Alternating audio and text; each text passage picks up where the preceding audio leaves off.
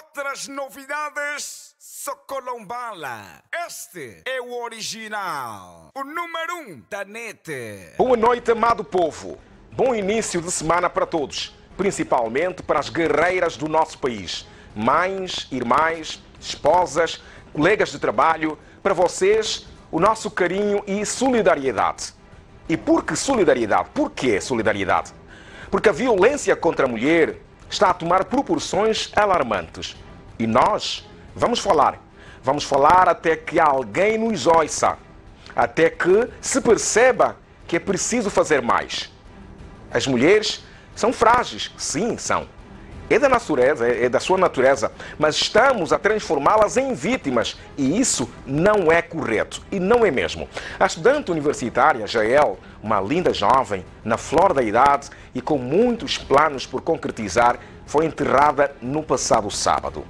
Um caso de violência contra a mulher que abalou o país. Ela foi morta pelo ex-namorado por ciúmes, um homem que achava que Jael lhe pertencia de tal maneira que acabou por tirar-lhe a vida. Ele ainda está foragido. Mas o estranho é que ele assumiu no áudio que ouvimos que ia se entregar. Onde está a tua coragem, Alcides? Onde está a tua coragem agora? Polícia Nacional, se este jovem sair impune desta história, outros se sentirão motivados a cometer os erros ou os mesmos crimes. Se sentirão motivados a matar as filhas dos outros. Vamos todos pensar nisso. Vamos pensar que perdeu. Quem perdeu é a família. Que perdemos uma cidadã angolana, uma mulher, uma jovem que podia dar muito ainda para a sua vida. Ainda daria muito para o nosso país. E os familiares de Jael clamam por justiça. Vamos ouvir o pai da Jael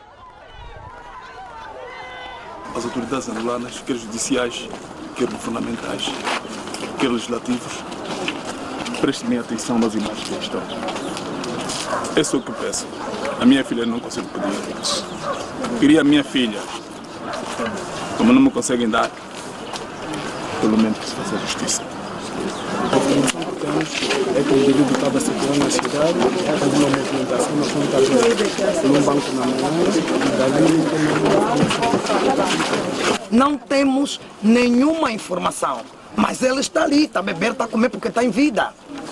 Que acabem com as mortes. Amanhã morre um, quem matou vai para a cadeia, sai. Morre um, vai para a cadeia, sai. Queremos justiça. Familiares da GL. Familiares da GL que. GL que foi a enterrar no passado sábado, no cemitério da Santana. Nós vimos a tristeza nos olhos dos familiares, nos olhos do pai da Jael, que diz que quer apenas justiça. Ouvimos um dos parentes a dizer que Alcides fez uma movimentação no banco.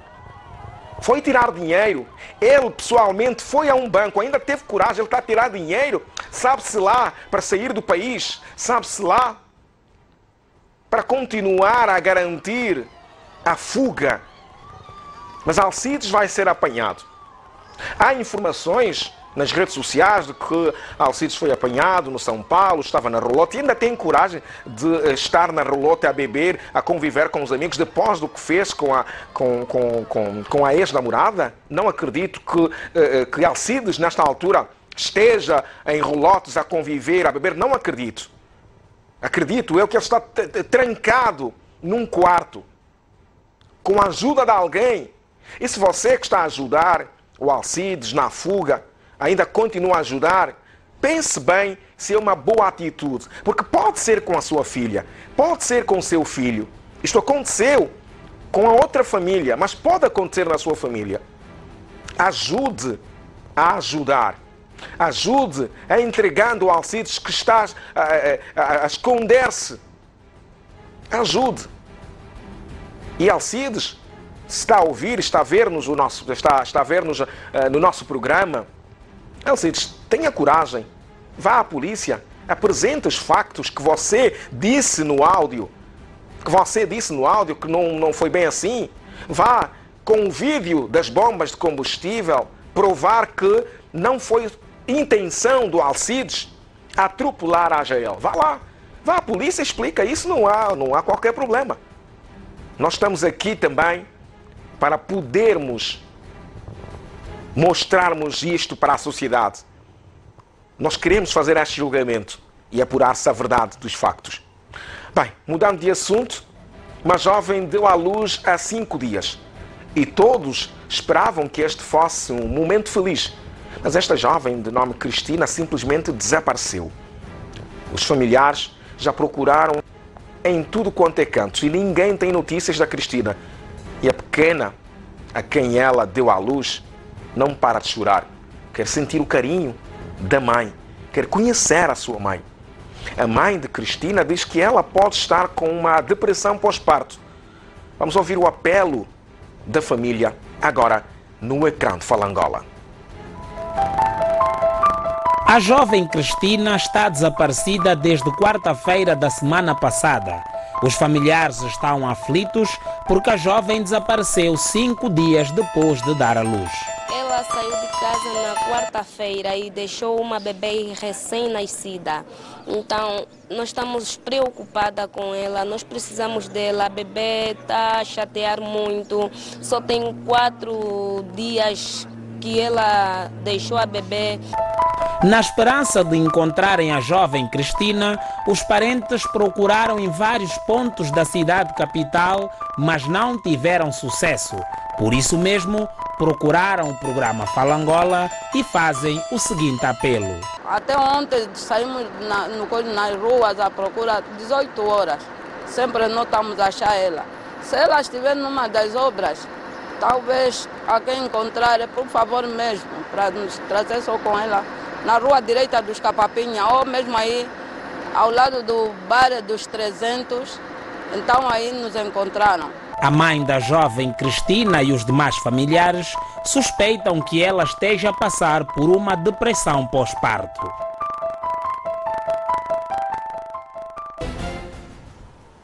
Estamos diante de uma situação bastante preocupante. A depressão pós-parto não é, não é uma coisa fácil de, de viver. Porque eu não acredito que a Cristina havia de abandonar o bebê que teve agora. Não acredito. Acredito eu que Cristina queria tanto ter este bebê, queria tanto cuidá-la, mas uma possível depressão pós-parto tirou, separou o bebê da mãe. A mãe, nesta altura, a Cristina, está em lugar incerto. O que nós queremos apelar é que alguém que vir esta jovem na foto, a algures, pela cidade, por favor, procure a TV Zimbo para que nós possamos encaminhar até à família. Porque o bebê precisa desta mãe. Mulheres com depressão pós-parto chegam inclusive a matar os bebês. E é por isso que nós queremos fazer agora a pergunta do dia. A nossa pergunta do dia é exatamente relacionado à depressão pós-parto. É por isso que você, amigo telespectador, que está aí do outro lado, presta bem atenção quando uma mãe está em, uma senhora está em estado de gestação. É um problema do fórum psicológico que não deve ser olhado de ânimo leve. Este assunto deve ser debatido aqui. Como identificar e ajudar mulheres com depressão pós-parto? Esta é a nossa pergunta do dia. Envie-me as vossas respostas e sugestões para o nosso Facebook Informação TV Zimbo. Nós daqui a pouco já começamos a passar no rodapé do seu televisor todas as mensagens que você escreveu. Saiba que agora você tem mais oportunidade para a sua mensagem, para ver a sua mensagem no nosso rodapé, porque vamos passando em cada bloco do nosso programa as suas respostas. Esta senhora que aparece na imagem agora, se isto vai colocar e já colocou, com a nossa colega Maria Pedro, também veio fazer um apelo aos nossos telespectadores. Mas o caso dela é de saúde. Ela está com problemas na coluna e precisa de fazer um tratamento que custa 600 mil kwanzas. E infelizmente ela não tem esse dinheiro. Vamos ouvir o seu sentido apelo agora. que Os médicos detectaram que a coluna, os discos estão todos gastos. E cá em Angola não tem hospital do Estado que tem que, que trata essa doença só fora do país ou então em três clínicas total mesmo, total mesmo tratamento lá no, no, na clínica pediram 400 mil. Para 400 mil kwanzas. Agora poder tomar e uns medicamentos, os meus medicamentos são muito caros, transporte. Então, o total são mesmo 600 mil que eu tenho que ter, porque sem esses valores não consigo fazer nada. Ele disse, bastou fazer isso, meter oxigênio, uns tubos que vão me meter, então eu vou voltar normalizada, vou ficar uma catorzinha como ele fala.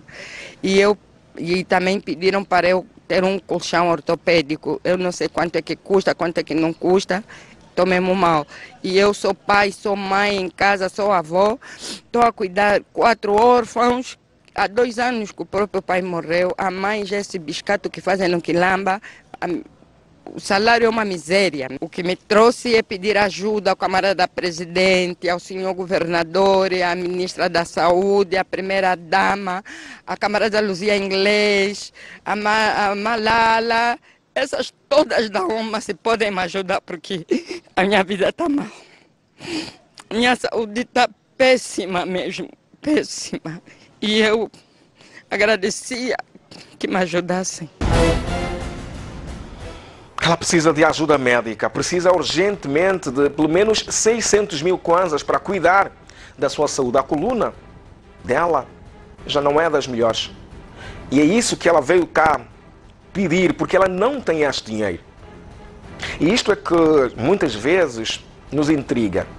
Como é possível nós termos tantas unidades sanitárias no nosso país e não se conseguir resolver até problema de coluna de uma cidadã, de uma compatriota? Para que é que temos unidades sanitárias se elas não servem à população?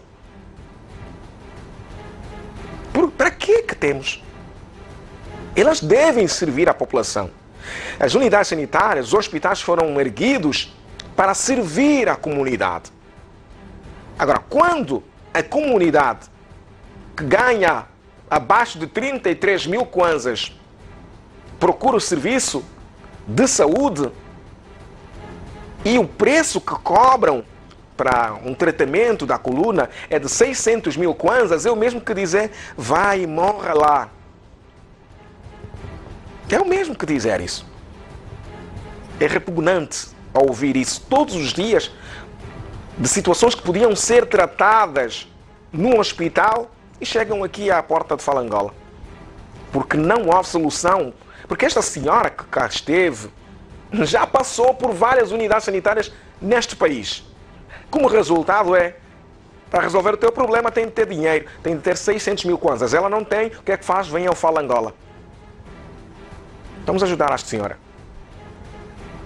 Ainda hoje temos mais para ver. Trazemos novidades sobre as 15 famílias que estão a ser impedidas de continuar a construir as suas casas dos, seu, dos seus sonhos na província do Lubango na província da Huila melhor. Jovens que deixaram o mundo do crime estão a ser reintegrados na sociedade. Uma mulher quase morreu asfixiada nas mãos do próprio marido. É para ver depois do intervalo. Eu volto já já pela mãe ao lado de um contentor de lixo. Isto depois de deixá-la dias e dias aos cuidados de pessoas que nem sabiam do seu paradeiro já foram ter com uma tia da criança que também a rejeitou. A criança está no exterior com umas pessoas que a acolheram e com o nosso repórter Egmar Lino. Egmar, o nosso muito boa noite. Fala comigo, companheiro. Boa noite, companheiro Pedro Paz. Temos aqui uma criança de aproximadamente dois anos que foi encontrada no lixo por esta senhora, que eu vou à conversa. Boa noite, minha senhora. Em que circunstâncias encontraram esta menina? Essa circunstância encontramos a, aí na, na rua mesmo, fora do, de um quintal. Então, a mãe foi, abandonou esta criança na sexta-feira. Na, na sexta-feira. Então, ficamos no sábado para ver se nós poderíamos coisa, encontrar. Então, ela lhe esperamos, assim que lhe esperamos, não estava a aparecer. E qual é o estado de, de saúde desta criança? O estado de saúde dessa criança nós não, não soubemos. Agora só estamos a ver que a criança não senta, não fala e não anda. Em que bairro, rua, encontraram a criança? Encontramos no bairro da Ponta Negra, mais ou menos a subir quase ao Patriota. Então, nós assim ao dormir, eu acho que a mãe abandonou essa criança por volta das 23 ou quase zero hora. Então, nós só ouvimos o barulho da criança. Então, assim que a criança coisa, acorda, começa a chorar. Ouvimos o barulho, assim que saímos lá fora, encontramos a criança embrulhada num pano, mas estava assim no lixo. Então destapamos assim a criança, reconhecemos a criança. Eu disse, não, essa é a filha da Maura. Essa bebê se chama Andrea, a mãe é a Maura. Sim. Qual é o estado de saúde da mãe?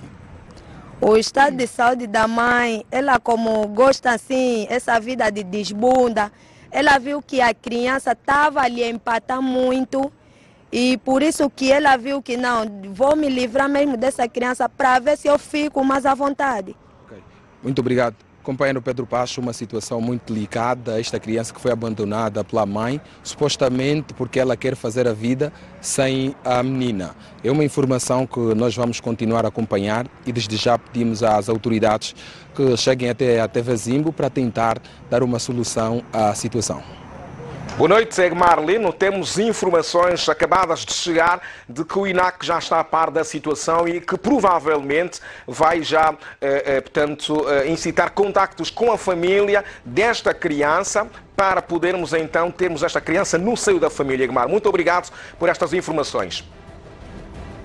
Pedro Paz, estamos juntos. Estamos juntos. Bem, ficou aqui eh, eh, e mostramos todos os dias que, eh, essas histórias que chocam-nos o coração de mães a abandonarem crianças quando há muitas mulheres a precisarem de ter um filho. Nós recebemos aqui na nossa portaria centenas de pessoas que querem adotar crianças quando vêm crianças neste estado, em estado de abandono. Há milhares de pessoas que querem ter bebês e que não conseguem e por isso querem adotar agora mãe abandonar porque quer ter uma vida é, de desbunda, que é isso? Não se faz. As vizinhas conhecem bem, é a Maura. Dona Maura, se está na desbunda, está num, numa cantina nesta altura a ver o nosso programa, vá lá para casa, vai lá cuidar do teu bebê. Para de beber. Beber não te vai fazer absolutamente nada. Não te vai fazer esquecer as malambas da vida, como se diz. É. Vai, os pagantes estão, estão a pagar, tudo bem, mas olha, tem uma bebê que está aos cuidados da vizinha. Se este senhor que está a pagar a cerveja pode pagar a cerveja, ele também pode pagar o leite para beber. Então você vai abandonar a bebê porque quer estar livre, quer estar na desbunda, não faça isso, Maura. Volta, regressa, vai lá cuidar do bebê. Enquanto isso, nós também já pedimos auxílio do INAC que está a, a tratar disso e, e, e vamos ver se conseguimos devolver esta criança no seu lar. Segundo pesquisas da depressão, não sei se esta senhora também está com depressão pós-parto, mas isso já não é, o bebê já, já está grande. Mas segundo pesquisa da depressão pós-parto, é uma condição de profunda tristeza, desespero e falta de esperança que acontece logo após o parto, que pode evoluir para uma forma mais agressiva e extrema da depressão pós-parto conhecida como psicose pós-parto, como identificar e como identificar e ajudar as mulheres nesta condição. Já estamos aqui a passar algumas das mensagens dos nossos telespectadores. Por exemplo, está aí o Jacinto Felipe, diz que é necessário que haja acompanhamento médico e psicológico. É verdade. Depois do parto, há esta necessidade. O Pacheco diz, eh, o Pancho, Pancho Manico diz, é importante a presença de pessoas próximas para ajudar. Neste caso, a mãe, o pai, os cunhados, o marido, é essencial para estarem para levantar a autoestima, porque eh, eh muitas mulheres, eh, depois eh, do parto, ficam debilitadas fisicamente. Umas engordam, outras emagrecem, outras têm eh, o corpo, a barriga mais maior do que, do que, do que era antes. E, e isto E isto complica, às vezes as mulheres perdem a, a, autoestima. É necessário ter aí pessoas eh, para ajudarem a recuperar. Por isso é que muitas mulheres têm esta tal depressão pós-parto. É esta a, a informação que nós estamos a passar e os nossos telespectadores também. Vamos agora à Willa. Na semana passada mostramos a triste realidade de mais de 15 famílias que estão a ser impedidas de continuarem as suas obras pela administração na cidade do Lubango. Em causa está alegada a proximidade com aeroporto da Mucanca. As mesmas possuem títulos de propriedade dos, dos referidos espaços, por isso pedem esclarecimento por parte das autoridades. Nós vimos e nós relatamos aqui, e nós ouvimos a administração municipal na altura, a administração municipal do Lubango, que diz que garante apenas lotes de terra e reprova a legalização dos espaços pela antiga administração municipal do Lubango, na altura liderado pelo senhor Francisco Barros. Armando Vieira, o atual administrador, vai mais longe, diz que vai se corrigir o que está mal. Vamos voltar a ouvir o administrador municipal do Lubango quando dizia que ninguém vai construir lá, vão ser demolidas aquelas residências e ainda por cima ainda por cima, eles vão receber apenas lotes de terra, porque a anterior administração errou. E por isso vai, vai corrigir o que está mal. Vamos ouvir o administrador municipal. Possivelmente possa ter havido erros por parte da própria administração, né? Do, dos, dos, colegas uh, que abordaram uh, esse assunto no passado. Mas nós queremos corrigir o que está mal melhorar o que está bem. Atenção, é, aquela zona é uma zona que, por razões de segurança da navegação aérea, não, é, não, não, não podemos continuar a permitir que se, se construam casas naquele, naquele perímetro. Então tem causa a própria segurança da, das, das pessoas. Então agora é necessário realmente que encontremos entendimento entre as partes. A ideia da administração municipal é devolver um outro espaço numa outra área para as pessoas que estão ali a, a foram cadastradas e muitos deles receberam documentos para construir ali naquela área. Portanto, nós vamos uh, uh, lotear outras áreas, alguns da cidade do Lubango, para devolver o, o, o terreno àquelas, àquelas, àqueles cidadãos, àqueles municípios. Mas, em princípio, é um dado assente, aquela área está interdita para construções por questões de segurança.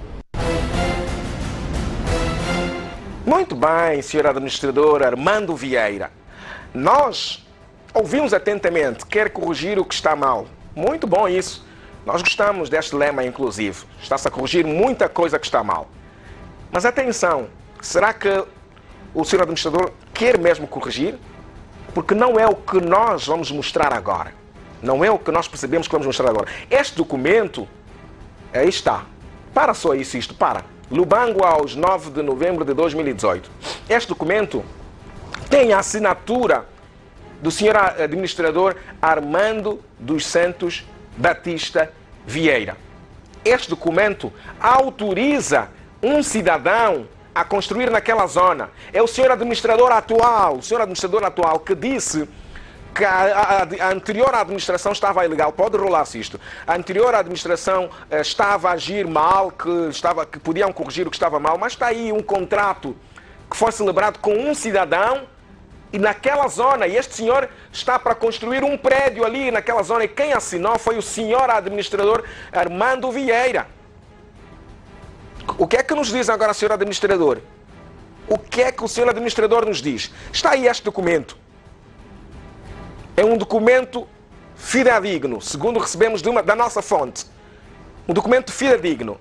Este senhor que, que, que tem este documento, este contrato, este contrato é o contrato que lhe habilita a construir um edifício aí nas proximidades do aeroporto da Mucanca. E a autorização veio do senhor administrador que está a dizer que a anterior administração agiu mal, que agiu na ilegalidade, que não podia ter feito. Eu quero compreender o que é que se passa com isso. Quero compreender o que é que se pretende fazer com isso. Porque não é normal, então, se o senhor administrador diz que a anterior administração errou e por isso vai corrigir o que está mal, como é que o senhor administrador atual autoriza a construção no mesmo local? Tem assinatura do senhor administrador neste documento? Tem a assinatura. E atenção, amanhã nós vamos trazer outro assunto. Aliás, vamos trazer novos dados. O senhor administrador disse Nós vamos trazer amanhã novos dados sobre este assunto. Para além deste documento, vamos mostrar outros documentos.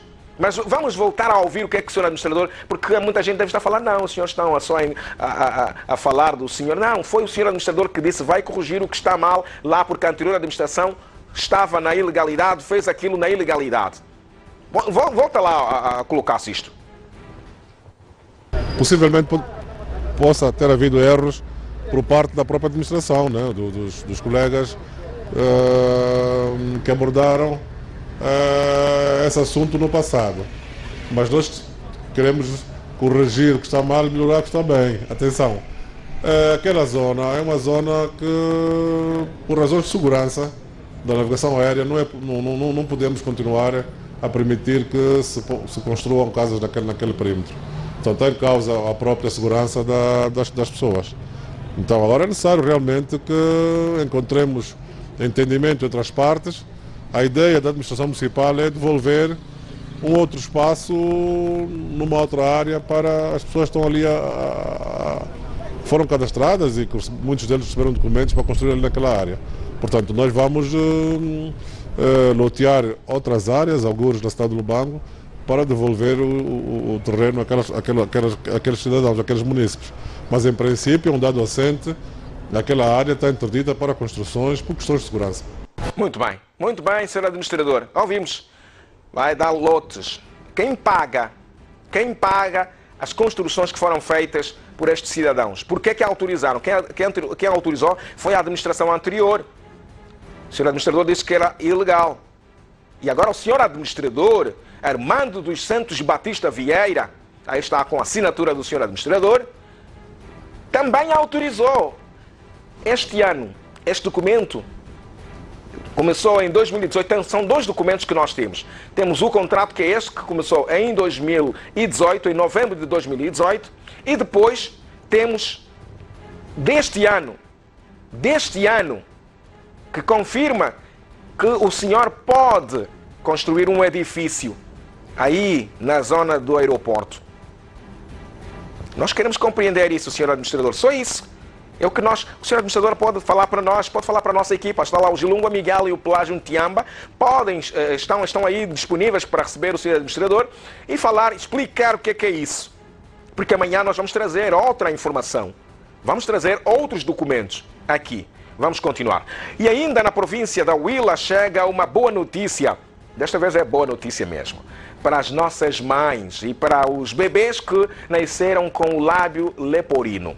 As crianças que nascem com uma abertura no lábio, como podemos ver na imagem, como está aí, aparece esse bebê. A Clínica Cristo Rei e o Hospital Central e o Hospital Pediátrico da Huila vão realizar operações gratuitas. Será no mês de novembro. Nesta altura estão a fazer o cadastramento. Eles, inclusive, oferecem o transporte em qualquer província. Vamos saber mais sobre esta boa nova na reportagem que se segue. Agora. Eu vi no programa Fala Angola uma mulher que chorava porque precisava de ajuda para a sua filha que tem a condição do lábio leporino. Ela não sabia a quem recorrer. Eu represento uma associação a Smile Train, em português Comboio de Sorrisos, em que eles dedicam-se a distribuir cirurgias grátis para crianças que têm lábio leporino. Eles estão aqui em Angola há mais ou menos um mês e escolheram Lubango como cidade pioneira para fazerem as cirurgias e capacitação do pessoal médico. Nós estamos localizados no, na Clínica Cristo Rei, no CML, e as crianças podem, os pais podem levar lá as crianças para serem cadastradas. Podem levar também ao Hospital Central na área de maxilofacial e ao Hospital Pediátrico. Elas vão ser cadastradas e quando chegar a data das cirurgias, a ONG responsabiliza-se pelo transporte e pela estadia dos pacientes no hospital. Uh, estamos numa sociedade que é acometida por tabus, uh, uma consciência limitada e também a falta de informação faz com que uh, as famílias escondam os seus filhos e muitas das vezes nem os vizinhos se apercebam que têm crianças dentro, do, dentro de casa, dentro do bairro, nesta condição. Então nós estamos aqui que é para divulgar esta informação, dizendo e salientando que esta cirurgia é completamente gratuita. A Small Train oferece suporte para as ações de mobilização destes pacientes, como a conscientização, o registro e também o transporte destes pacientes para os centros de tratamento e também para eh, posteriormente para os seus lugares de proveniência. Uh, temos um contacto uh, pelo qual podem uh, obter mais informações que é o 929 65 60 60 e também para mais informações acerca da, da organização podem acessar o site que é o www.smalltrain.org. Junte-se a nós e ajude-nos a mudar o mundo um sorriso de cada vez.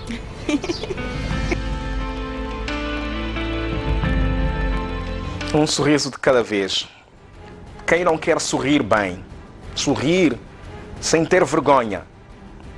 E é isso que esta, que esta ONG vai fazer em novembro. Atenção, será em novembro, não será agora, será em novembro e vai ser na província da Huila. No Lubango, no Hospital Central, o Hospital Central, o Pediátrico e a, e a ONG vão se juntar para oferecer esta, esta consulta e a, cirurgia grátis a, estes, a estas crianças com este problema. É no Lubango, atenção. Você que está no IGE, você que está eh, em Malange, você que está no Bié, em Cabinda, a, a, vai ter de ir no Lubango para fazer primeiro o cadastramento. Vão cadastrar, eu tenho meu filho, assim, assim, esta é a fotografia dele, o lábio dele está assim, como podemos ver, e tal, tal, tal. Vai fazer isso a ONG vai fazer o cadastramento e depois de fazer o cadastramento, em novembro começa a, a, a operação. Começa a operação e esta ONG é que vai, vai, vai, vai pegar cada paciente no seu local de proveniência, vai, vai levar até o Lubango e no Lubango vai se fazer a cirurgia e depois da cirurgia a mesma ONG vai pegar eh, o paciente e vai levar de volta para a sua casa. Isto é um, isto é um bom trabalho. E, e aí a administração municipal do Lubango, pelo menos, a administração do Lubango pelo menos tem que dar água né, para fazer alguma coisa, já que dos terrenos estamos a, a ver lulas. Bom, vamos fazer intervalo. Nós voltamos com um caso chocante e que vai com certeza mover o seu coração. Uma vez mais, o nosso muito boa noite aos nossos telespectadores de Cabinda ao Cunene e de Benguela ao Luau. Já aqui falamos de saúde e vamos voltar a abordar. Eu disse antes do intervalo que eu iria lhe contar uma história de mover o coração. O estado de saúde da senhora que vai aparecer no seu ecrã inspira muitos cuidados. Ela chama-se Josefina Samba, tem 40 anos e tem um tumor no rosto que começou com uma infecção. Ela já procurou a ajuda médica, foi ao centro de oncologia, ao Josina Machel, e já foi até a Benguela e nada. Devo dizer que é das imagens mais impressionantes que já vi. Josefina não consegue trabalhar. Quem a sustenta é o filho de apenas 12 anos de idade. Deixou de estudar para cuidar da mãe. Uma grande prova de amor. Este menino trabalha na lavra, enche sacos com verduras e no final do dia pagam-lhe 500 kwanzas que ele leva para casa. Eles precisam da nossa ajuda. Precisam da vossa ajuda. Veja agora a reportagem de Virgílio Fula no ecrã de Fala Angola. Em plena luz do dia do sábado passado, quando achávamos que tínhamos terminado nossa jornada laboral, recebemos uma denúncia vinda da comuna de Bom Jesus que dava conta de uma mulher de 40 anos de idade que sofre de um tumor no rosto. Sem mais demoras, seguimos até o local. Pelo caminho, deparamos-nos com a realidade daquele povo, maioritariamente camponês.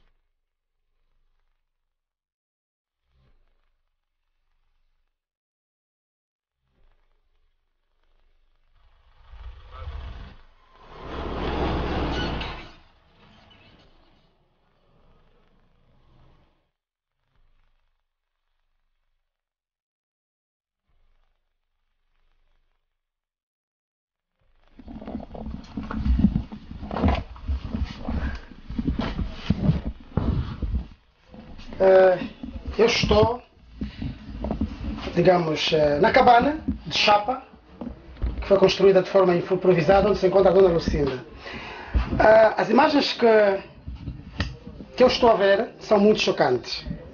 A Dona Lucinda praticamente não vê. Ela tem um tumor. Eu vou pedir ao Bernardo Sebastião que mostre. Eh, eu vou pedir ao Bernardo Sebastião que mostre as imagens. Eu vou levantar o mosqueteiro. Essa é a Dona Lucinda. Eh, para em casa, as pessoas em casa, é uma imagem chocante. Perdoe-me a sociedade angolana, é chocante. Essa mulher clama por socorro. Olhem só para o estado desta mulher. Olhem para esse estado. É muito sofrimento para uma mulher. Já Lucinda, Sim, vem mais para cá. tá bem. Ai, ué. Sim. Já Lucinda, Sim. fala. Como é que tudo começou? Pai, isso quando começou eram umas exceções pequenas. Tá, tá, é o menor recado que eu deixo na sociedade. É que nós irmãos me ajudam só quando não está mal. Na saúde estou fazendo mal. A sociedade. A dona Lucinda deita um líquido, como podem ver. Perdoe-me a expressão, é uma imagem repugnante. Ajudem. Eu vou implorar à sociedade angolana, ajudem a ajudar essa mulher. Dona Lucinda depende do apoio incondicional do filho de 12 anos de idade que teve de abdicar a escola para cuidar da mãe. E para o sustento da casa, o pequeno responde. Agora vamos ouvir eh, Matateu, o filho da dona Lucinda. Matateu, é aqui onde vocês lavam louça? Sim. E, e onde é que vocês cozinham, Matateu? Aí. Aqui nessas pedras? Sim. Matateu, diz uma coisa. Para além de, de- ajudar a mamãe na, na, no serviço de casa, como lavar louça, como é que vocês comem? Como é que vocês ganham dinheiro? Faço biscoito. Fazes biscato onde? Aqui na, na leva da Manaju. O que é que tu fazes lá? Transportar lá uma mengueleca. Transporta ramo. Sim. Depois, como é que, como é que, como é que ganhas? Tu fazes o trabalho, vai colhendo ramas, né? Depois, Transportar. Com o rapaz, fomos até o local onde ele ganha o pão de cada dia.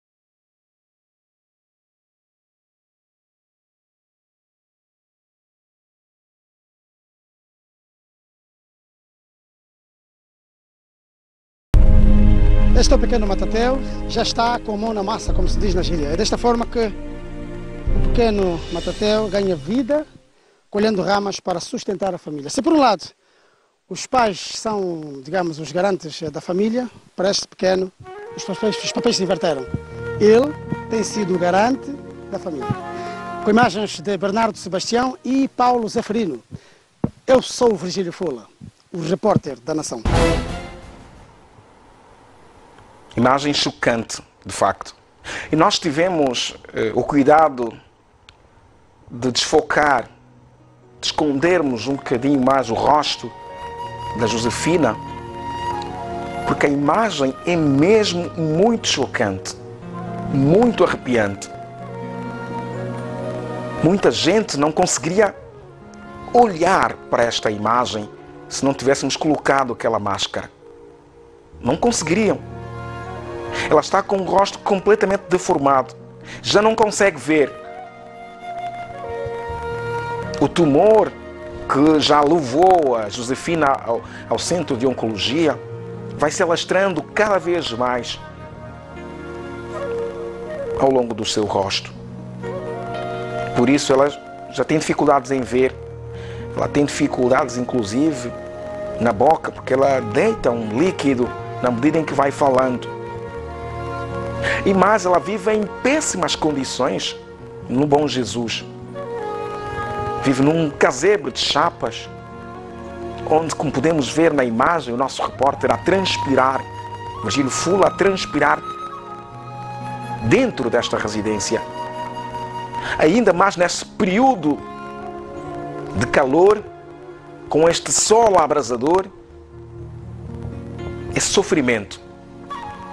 E o mais triste é saber que quem leva a vida, quem sustenta esta senhora, é um menino de 12 anos de idade. É o Matateu de 12 anos de idade. Atenção que o Matateu teve de abandonar a escola. Um menino que está aí na casa dos 10, 12 anos, que podia estar a estudar, mas ele, ele trocou a sala de aula. Reparem para casa está. Esta é a casa da, da senhora Josefina. Matateu teve de trocar a sala de aula pela lavra. Pela lavra. Reparem as condições que esta cidadã angolana vive.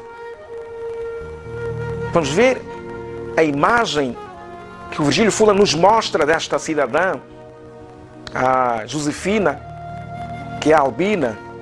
Por isso nós queremos fazer aqui um apelo à Associação dos Albinos de Angola, à Fundação Luime, à Associação de Causas Solidárias, a, a, a, a todas as associações que ajudam. Reparem só, meu Deus, reparem para esta imagem. Reparem, apoiem esta cidadã. Ela precisa do nosso apoio. Vamos fazer intervalo.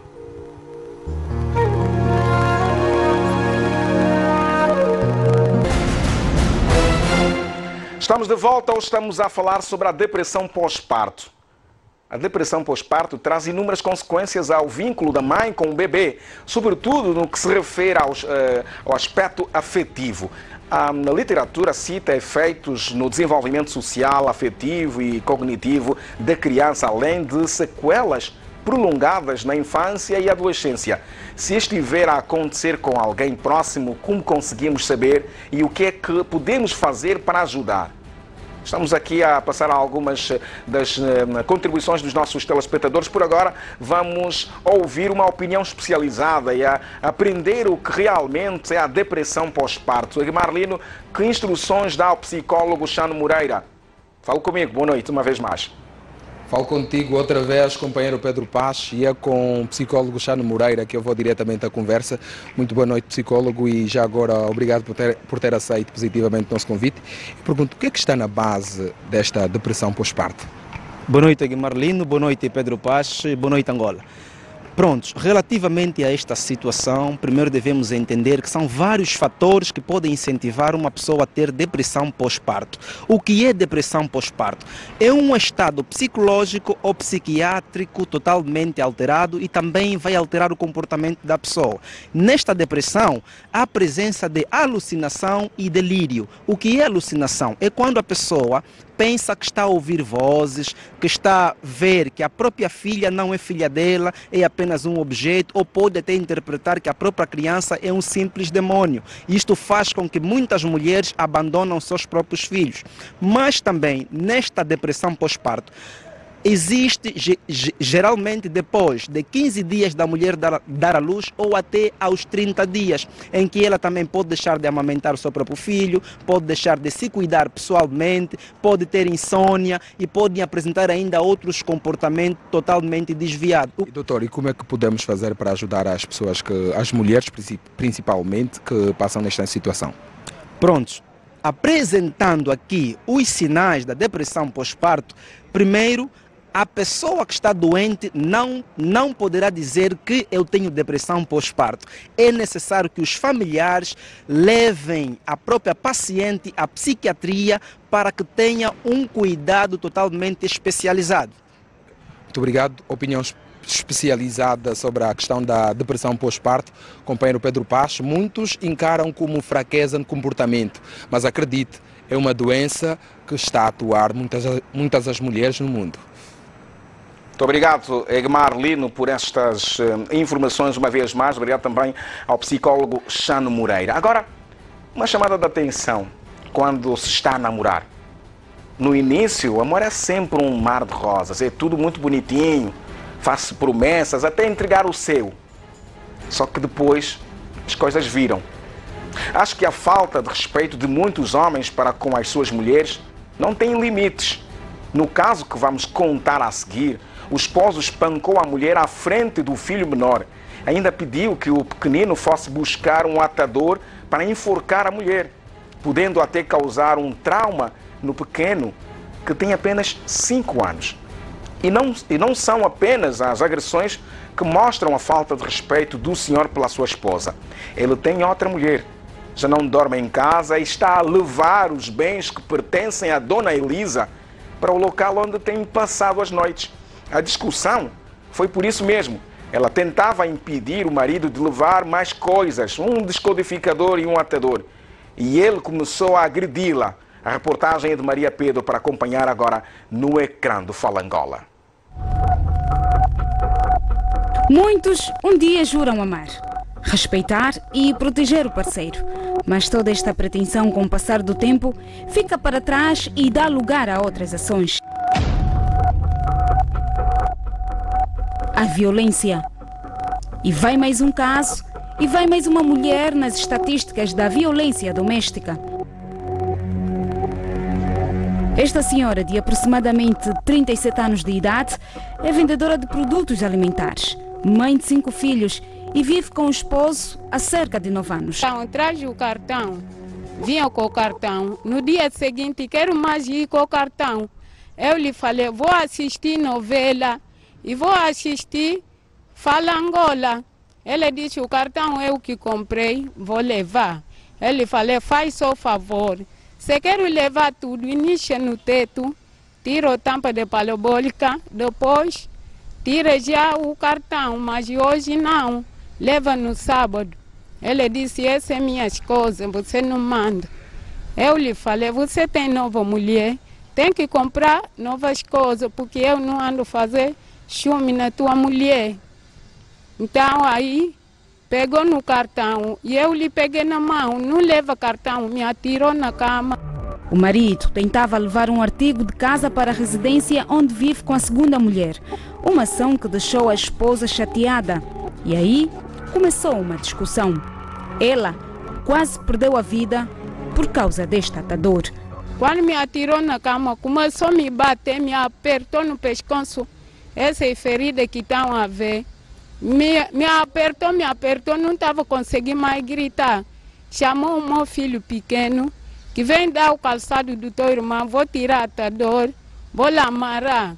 O meu filho também, como é criança, lhe deu a atador, começou a me amarrar. O fio é esse que ele me amarrou com ele, para me matar. Esta não é a primeira vez que o marido a agride. Ela já participou à polícia sobre os casos de agressão que sofre do esposo, mas até o momento nada ainda foi resolvido. Primeira vez quando me partiu os pratos, fui na polícia, a polícia também no asilo. Está me falar quintal é que nós estamos, é quintal é de controlar, tem dono. Ele quer, quer ficar com a casa, para mim cortar tudo das crianças. Nós vamos lhe entregar para ele entrar na cadeia. Eu vim aqui primeiro, se, se ele repetir mais, ele tem que ir mesmo na cadeia e cumprir cadeia. Boa decisão.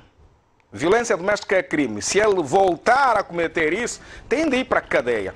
Bem dito, a senhora Elisa. Então você, marido, já decidiu ter outra mulher, por que, que não vai apenas? Vai tem de levar outras coisas. Então, por que, que não, não compra outras coisas, como disse bem? A boa sugestão da dona Elisa. Arranjou nova mulher é porque tem potencial, tem dinheiro, tem capacidade financeira. Então, compra outras coisas, compra outro descodificador, compra outra antena parabólica e leva para outra mulher. Deixa, porque também lá tem filho, na, na dona Elisa tem filhos. Porque eles também precisam assistir. Olha, coitada da senhora, já não estava a ver o Falangola. Né? Já não estava a ver o Falangola porque o senhor levou o descodificador para outra mulher. Não se faz isso. Agora, é uma denúncia. É a polícia, atenção. E nós temos estado sempre a dizer, muita gente que vem aqui no Falangola não é, não é vontade de aparecer. É porque Lá eles não encontram solução nas autoridades onde eles vão, não encontram soluções. Não encontram solução na polícia, porque a polícia dá um baile, até as quadras da polícia que não tem caderno, não tem folha para escreverem lá a participação. Dá um baile, é porque não tem carro, é porque é muita desculpa. No hospital acontece a mesma coisa. Então, eles vêm até aqui apresentam, está feita uma denúncia. Agora cabe à polícia ir para lá, cabe o SICA investigar este cidadão. Mas a Maria Pedro falou com uma especialista que afirma que os casos de violência contra a mulher têm estado a aumentar. Um dos motivos é a condição financeira de muitas famílias e aconselha a proteger as crianças. Vamos ouvir. Muitos atos se desenvolvem por causa da pobreza, a falta disso, a falta daquilo, aspectos econômicos. Também estamos a trabalhar muito na, na, na, no, na, na, sensibilização por causa dos aspectos culturais também que levam muito à violência doméstica. Temos o exemplo de um, um, um casal vive junto, constrói o seu patrimônio, morre o marido ou a mulher e as famílias vêm atacar o patrimônio do, do, do, do, cônjuge. Então, são situações que temos que trabalhar todos nós. Normalmente, o menor, quando há quando há violência no, no, no, lar, não é, entre os pais, ele também é vítima, porque assiste sempre. E há pais que não têm cuidado. Até uma simples discussão, onde eles vão usar palavrões, eles fazem na presença das crianças. As brigas, o pai que corta a cara da mãe, que corta o dedo, põe a mãe a sangrar, a mãe que põe o pai nu todos eles assim na presença das crianças. Essas crianças desenvolvem mesmo aquele que é o, o síndrome do o pânico do medo, as crianças começam a ter baixo desenvolvimento na escola porque o seu psicoemocional fica afetado com esse conflito que é dos pais, mas que afeta mais a eles. Estamos, estamos a, a, a trabalhar no que sentido? Sempre que há casos do gênero, não é? Poder ajudar essas, essas famílias a não usarem as crianças como pedra de arremesso, porque normalmente o casal quando está em conflito, um puxa os filhos, outro puxa os filhos, querem afetar os filhos, querem utilizar os filhos para atingir o outro. E então a, a sensibilização, o próprio acompanhamento que nós fizemos é mais no sentido de educá-los que não devem utilizar as crianças, porque no futuro não teremos adultos sãos, por quanto as crianças continuarem doentes com esse fenômeno. Os pais têm que ganhar consciência de que muita da violência que fazem contra os filhos é a não prestação de alimento. Isso é obrigatório. Hoje em dia, nenhum pai deve abster-se de prestar alimento aos seus filhos. E muitas vezes as brigas partem nesta questão mesmo de sustento aos filhos. Muito bem dito, muito bem dito. Ainda bem que a violência doméstica é crime. Muita gente vai parar na cadeia se houver também vontade das autoridades, não é? Porque às vezes não há. Uh, Tatiana, boa noite, vamos ao direto de redação. Pedro Pache, boa noite. Sobe para três o número de vítimas mortais na província de Cabinda depois da explosão de uma caldeira. Mais de 300 técnicos de saúde no município de Benguela já começaram a ser integrados. Presidente da República, João Lourenço, discursa amanhã na principal tribuna mundial, ou seja, na Assembleia Geral da ONU. Autoridades de saúde na RDC preparam a segunda vacina para combater o ébola. São os destaques do Jornal da Zimbo, mais daqui a pouco, às 20 horas, comigo no comando. Até já. Até já. Olha, Tatiana, 300, 300 eh, médicos técnicos de saúde vão ser integrados em Benguela. Na Willa, apenas 50 médicos estão a ser rejeitados para começarem a trabalhar, mesmo com a guia, para trabalharem no Hospital Central. Realmente é um assunto que já estivemos a noticiar a semana passada. Pensamos que brevemente também teremos eh, boas notícias para esses técnicos de saúde eh, que passaram recentemente pelo concurso público. Muito obrigado, Tatiana Reis, estamos juntos. No Toma Sala, até amanhã. Toma Sala. É tudo por hoje, mas podem continuar a enviar mensagens para a nossa página de Facebook, Informação TV Zimbo, também para o nosso correio eletrónico, fala comigo, arroba tvzimbo.com. O nosso WhatsApp é o 922 22 59 18. Já sabe, se no seu bairro não tem luz e nem água, fale comigo. Se tem tido, tem sido espancada, humilhada e maltratada pelo seu parceiro, fale comigo, porque comigo, comigo é diferente. Comigo ou parte ou racha. O meu forte abraço vai para o meu grande camba irmão Francisco Manuel Metrabi, que no dia 21 de setembro completou mais um ano de vida. E outro forte abraço vai para Rosa Miguel da Silva, a Zita, que ontem celebrou mais um ano de vida e o seu noivo Sam aproveitou para pedi-la em casamento. Um abraço grande tamanho da graça. A nossa Bill Ginga também completou mais um ano de vida. Olha, forte abraço à nossa produtora de luxo aqui da estação, maior estação privada do país. O Calili, o Carlos Raimundo, está a fazer anos hoje. Calili, um abraço. Estaremos lá em Viana para a festa. Muito bem. Um abraço a todos. Por isso, no Toma Sala.